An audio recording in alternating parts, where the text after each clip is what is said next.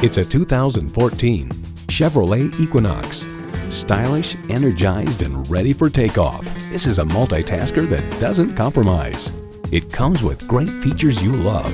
Streaming audio, power heated mirrors, manual tilting steering column, remote engine start, manual telescoping steering column, inline four-cylinder engine, express open sliding and tilting sunroof, gas pressurized shocks, and automatic transmission.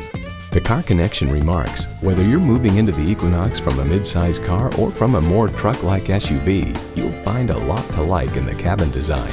In a Chevy, the journey matters more than the destination. Hurry in today and see it for yourself.